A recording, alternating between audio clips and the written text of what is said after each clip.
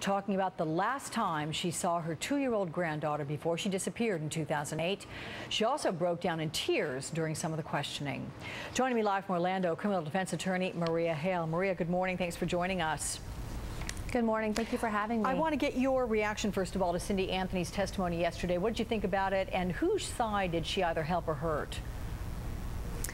Well, uh, I think Cindy Anthony's testimony gave a realistic picture of how a, a, person would think someone would react when they've lost a loved one like that.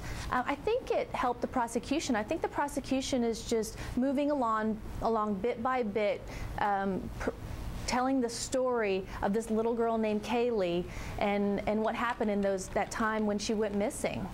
Okay. If we look at what the defense claims, um, that Kaylee accidentally drowned in the family's pool, but Cindy testified that uh, the above ground pool was too high for Kaylee to reach by herself. So how does this testimony impact the defense's claims? Well, I think the defense in their opening statement said that it was Cindy who the day before when they were swimming left the ladder up.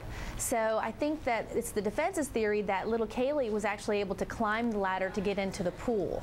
Okay. Um, Cindy also went about recounting what she believes were some elaborate lies that Casey told her in the days after she last saw her granddaughter alive.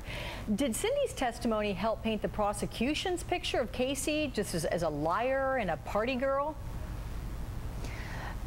Yes, absolutely. Some could say it helped both, though, because the prosecution is saying this is not a way, this is not the way somebody reacts when their daughter is missing, when their daughter is presumably she knows that she's dead. But then the defense can also say, well, this just goes on to show that she's so dysfunctional because of what has happened in her past that she's able to just put that aside and not even think about it, go out, party, have fun, and do those types of things. So really, it could go both ways. And so, with uh, Cindy being back on the stand scheduled for Tuesday morning, if, if you were going to cross-examine her, what kind of line of questioning, where would you go with this?